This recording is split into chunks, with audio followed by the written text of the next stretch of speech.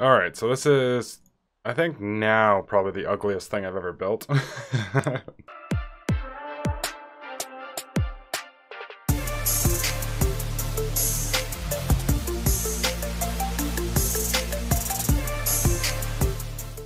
Hey guys, and welcome back to TerraTech with me, Tenzen. How are you doing today? I'm doing pretty good. I hope you're doing pretty good. If you guys like today's episode, please like and share as you see fit. And if you haven't already, please subscribe.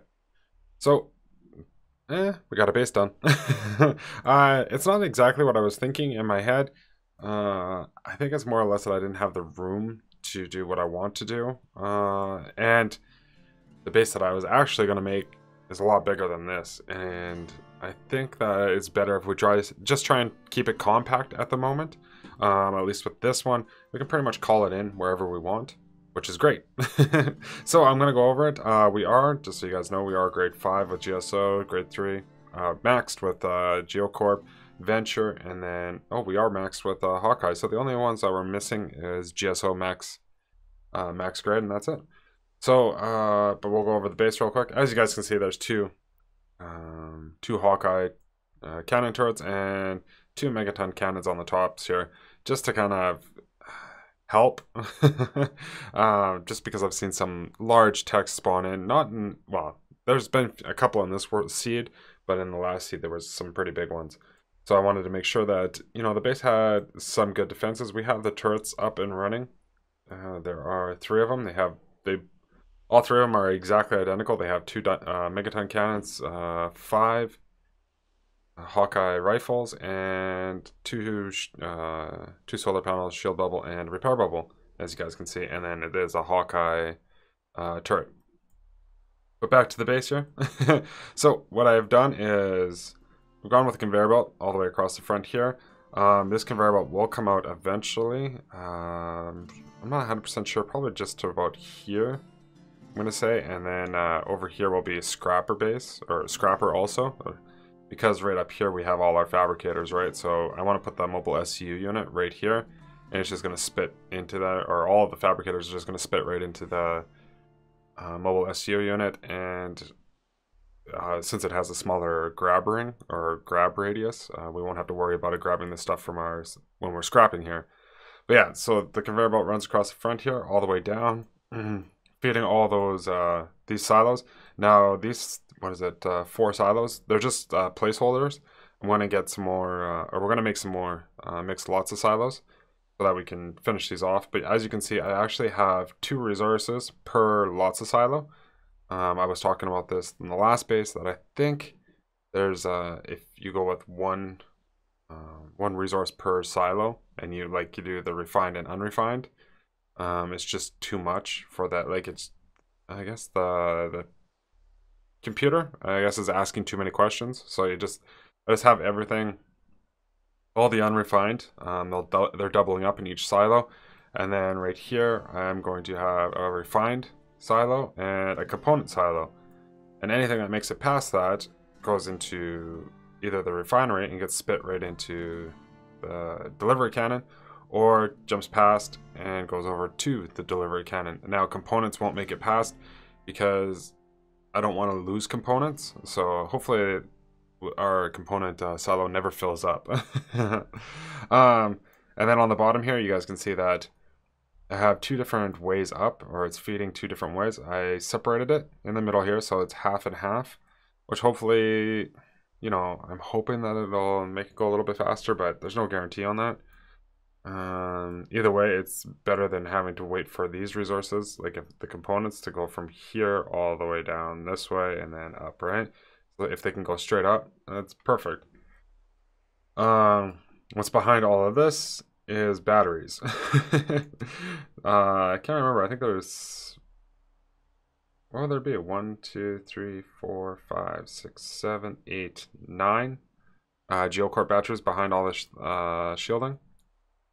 And then, yeah, of course, a ton of repair bubbles, uh, shield bubbles. And our A, we have an AI and uh, what is it, GSO cab sitting right here in the corner. I was going to put them underneath up top here, but figured I'll just leave it alone. I know that every time that we're getting attacked, they'll probably drive this way, um, which is kind of nice because we'll have the Hawkeye turret and the Megaton cannon shooting down on them. and then we'll have the right the Venture long rifles firing at them, right? So all of that is fed up here to our two, um, yeah, two uh, re two refineries. Sorry, you guys, uh, and then obviously all the component factories. Now, as you can see, I've got it so that they come up the top here, go past the refineries, then go down, and I'm not 100% sure yet. I have to, I'll have to watch it when we're creating stuff, but they might, like a refined resource should kick off over here if this, one of these component factors, or yeah, component factors is looking for it, right? It shouldn't go all the way to the end and then come back around. Um, but yeah, so it does kind of a short loop over and over, and then when it's done, it gets come, it comes down here, to whichever component factory, or I mean, uh, fabricator needs the component, right? Looks simple, should work. Hopefully it does. but yeah, as you guys can see, it's the same thing on this side, but instead it, it's fed up this way and then over and then down, right? Now I was, I did have a couple of refineries on this side, but I was like, uh, everything's going to be taking place right here, so might as well just have them all sitting right up top here and just let it go around and around and around, right? So, with that being said, and all done, oh yeah, and then all the solar panels, we need to start filling up our resource, um, our lots of silos here, which is going to be interesting. Um, I can't remember what we need for more lots of silos. Let's take a look here. Uh, okay, Rodius, Luxite, and Fibron trunks. Uh, okay, so everything we need we can get. Um, otherwise, I was going to have to put a conveyor belt off of those, uh, uh, what was it, four pack silos. Now, also this base, how it's built or whatever, should be able to fit up on top of one of these monuments if we need to. Um, and now with the ability to, you know, move the base, a little weird how fast it turned there, eh? Just go like that. Uh, take that out. I'm really liking this this ability here. And then it re-anchors for us. So, I like that. that that's a really, really nice uh, addition to the game, being able to move the bases. Because you always make a base, and then you're like, well, if it was just over just a little bit more, or I guess um, you can make like two bases and then just kind of push them together really closely. So, uh, which is really good. Now also, um, with the new additions to all the, uh, what is it, the dropper we have, we're going to be able to use silos for, to hold stuff. So we're going to be able to hold like 90, yeah, because we'll be using lots of silos. We'll be able to use 90 or hold 90 resources. And then when we get to the base, I think all we have to do is like we're gonna see, but when we make the harvester, you should be able to click on the conveyor belt, uh, reverse the direction of how the the resources are being collected, and just spit them out onto the ground here, where the obviously our base will pick it up. Um, but I think I'm going to build a. Yeah, I'm gonna have to build a a harvester and then bring you guys back when we have it, because I don't think we have any good one, right? Yeah, we don't. Yeah, we don't have any yet. All right, so this is, I think now probably the ugliest thing I've ever built, but uh, it does seem to work. So I'll show you guys it just in one second. So pretty much all I've got is two GSO batteries, a Hawkeye repair bubble, um, two Venture uh, propellers, and you know, venture wings, mid wings, uh, tail wings, two uh, GSO hubs, hub wheels, and two venture. I can't remember what those wheels are. Uh, let's see here. Venture landing gears, and then just a bunch of uh, GSO drills. So, and of course the GSO four pack silo. Uh, I, I would have liked lots of silo, but it is what it is.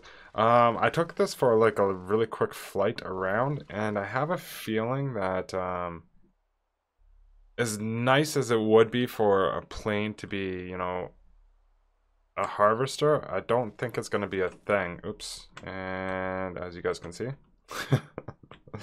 so as you guys can see too, the resources stack up on top. Um, okay, let's just go over here. We'll get some of this. Uh, the reason I say that a plane won't be a thing, or it's kind of hard to become a thing, uh, is uh, if I can actually find a place to take off here, you'll see that when we try to land, it's really, really hard. Um, okay. This is interesting. This is a new development here. Um, I did take off like not even two minutes ago. Hmm. I would, I would like to put another propeller on, but you can't put one, you know what I mean? You can't put one, two here, you can only put one, and it's going to be off to the side. So I think what I'm going to try um, is a booster or two. We'll put one on either side. I'm not too excited about this, but nope, definitely not. Okay, we need to stop. oh, we did. We lost the resource, hey? Okay, you you need to stop so I can grab you. Okay, we'll just drop it. Alright, we're in the air. That's all we needed them for. Okay, let's go looking for some stuff. Uh, we needed... Oh, I don't even know what we needed. We needed some stuff from the mountains, which is kind of a bad place for us to be, but... Uh... At least, we, yeah, with the plane, we can still do the, like, the, re, uh... I guess the search and destroy kind of things, right? But, see, I'm letting off shift. Okay, so it wasn't too bad. You really got to spot the the resource you need from a ways away. Um, but I believe this is...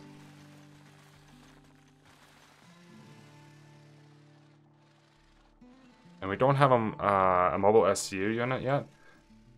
Hmm. So the question is... We need more lift on the front, I think. So maybe...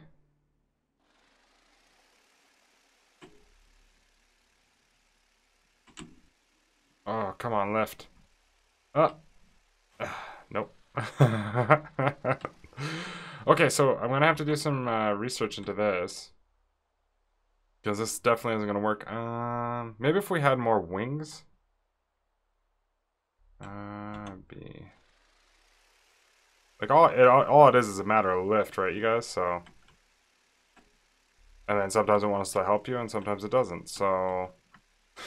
but we'll fly back to the base here real quick, and I'll show you guys um, how this works now with the... Uh, ooh, stop. Come on. Slow down. And... Who's firing at us?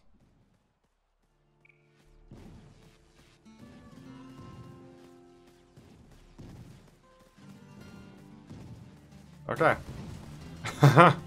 One second. We just gotta deal with this guy. So if he would have came up the hill a little bit further, obviously this turret would have engaged. Um, and started shooting him, but it is what it is. And it, I don't think anybody... Yeah, it doesn't look like anything bad's happened. I don't know what it is, but for some reason, these turrets keep turning around in order to fire.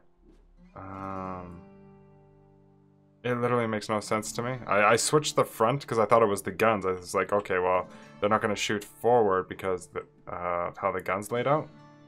Um, but no, they keep turning around. So I'm going to have to look into that. Maybe I have too many blocks forward.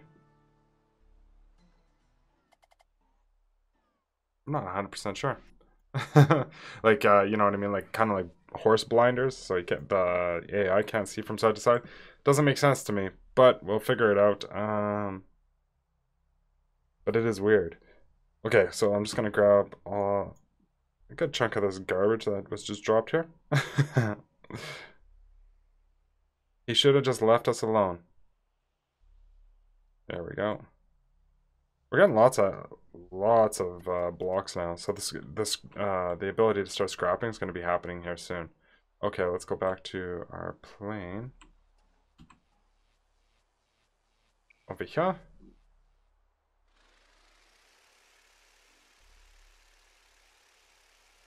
So it's not as. Oh, like, it's a little more complicated than I thought it was going to, but it's actually pretty simple too. So it's like a catch-22, right? So you gotta take off both the collector pads. Um, otherwise, you, every time you drop a piece, you're just gonna you're just gonna pick it right back up, right? Um, then you need to take the filter, put the filter there. Go down to the dropper. Click on the dropper, and the dropper automatically does its job. Just spits it right out. Like, look at how easy that is, hey? Now, eh, given it's a little weird, but uh, I think it, obviously uh, the plane's not going to be useful, but the quadcopter harvesters and the helicopter harvesters, they that will be useful, and any massive um, harvester that you guys build that's like rolling on the ground that it this will be very helpful because all you'll have to do is do uh, all your silos, then connect them with a uh, even I guess a filter on one side if you wanted to, because it won't work um, if you just put the filter or the what do you want to call it? Uh, the dropper on just one side. Sorry, see, I'll show you. It, it it won't grab from the silo, so you have to give it the you do have to give it the um, the filter. So you just have to figure out how you want to do that. But there is a million different ways you could do that with uh, making a giant harvester. But I'm going to collect some resources. I'm going to get some uh, lots of silos made. And yeah, we'll see. Maybe I'll fix these turrets at the same time. okay, so I was a little crazy. um, I thought, you know, there had to be something going on or there's something wrong. Uh, I went and just read the patch notes for it just to make sure I wasn't, you know, missing anything. And yeah, I did miss it. They've uh, changed the amount possible to come from these uh, these veins up to a thousand resources they have. So um, yeah, which is really really nice because some of them are super super rare, right? Like uh, especially the salt flats one. I haven't even spotted a fall- salt flats yet in this seed, which is fine. Um, I was looking for it to be our base, and the reason that I decided to stop looking for it because yeah, we could have built a flower and went looking for it easily. But the thing is, is that um, I always forget about how much or how how quickly uh, big bots spawn in uh, during the when you're on the salt flats, right? Now, like I said, uh, I don't know how well a plane would be for um, a harvester. Right now, it's it's not too bad. Um, obviously, it's not going to be perfect for every situation, but I don't think any harvester is. But the thing that I will say is that the the plane's lift capacity is more than what I thought is not more, but I guess is uh, very very valuable because all you have to do is add uh, wings, right? Like we already have this wing here, so if we needed to make more lift, we could just make another mid wing, right? Um, to add on to make more lift is perfect, whereas the quadcopters, usually after you've done the, you've uh, mined and you're like, okay, well, I need to add more to it, like more power. Usually you don't have any room uh, to add more power to it, so it's like a catch-22, but uh, I could see we could easily probably make a plane that could carry like three or four of these lots of silos and just go around uh, mining, right? Uh, it'd be a little weird looking, um, and maybe we'll try to build one in the future. Uh, I'm not 100% sure what you would mine with it. Maybe trees. Um, you know, all the easily accessible stuff, essentially. Uh, anything that's like, you know, deep down in the mountains, you're going to need the quadcopter for because you're probably going to need a vertical takeoff. Uh, okay, we should have had... Oh, we need uh, Iron chunks. That's weird. Uh, hey guys, so I got all the, uh, what was it, the lots of silos finished, which, oh yeah, that's fine, refined resources. Um, and as you guys can see, they're all down in the bottom there. Uh, we got quite a bit of resources there. Uh, so we're gonna have to start collecting. Um, I guess going out on missions, collecting more and stuff like that. But uh, I'm still having the problem with the the refineries. Um, it gets like you know what I mean. They get plugged or whatever, so you, you or it gets there's too many resources at one time for it to do, and the moment the resources pass by the uh, refinery um, and not re- get refined, uh, the computer or the program automatically tells it to reload those same resources so they come back up, right? Uh, so I'm trying to think of a good way to kind of stop that or get in the way. Now I was thinking, you know, could just break the conveyor belt and put it right in the middle, right? But the problem is, is that if there's components or anything like that, they're not going to get past the refinery, right? And I guess you could put filters on it and stuff like that. And we'll figure it out in the future. But as of right now, you can see that there's two additional blocks just floating around here. So I tried this out, um, and it looks like it's going to work. So obviously, you, we don't want them floating around up top here. So I'm you I'm sure you'd only do this after we were done, you know, making everything we wanted to, or if it got too cluttered up here. They put the filter plus the dropper, and it's right over top of our resource collector here. Now when they come down, they should be filtered off, and it should just drop them, and then those should go right to our refinery. Um, it should also do, like it's on everything, right? So if we have components floating around up here, anything, instead of it just keep going around in a circle and, you know, causing problems for us, nice, it does work. we just get rid of it, right? Um, but yeah, we got a lot of things to do. I got a lot of, I guess, uh, harvesting to do and resource collection. So uh, I think in the next episode we're gonna get the mobile SU unit and. Uh, maybe we'll take a look at harvesters. I'm not 100% sure yet. Uh, I mean, not harvesters, hovercrafts. Um, I'm trying to think here. Yeah. We'll figure something out for the next episode, but if you guys like this episode, please leave a like, leave a comment. If you haven't already, please subscribe, and I'll see you guys in the next one.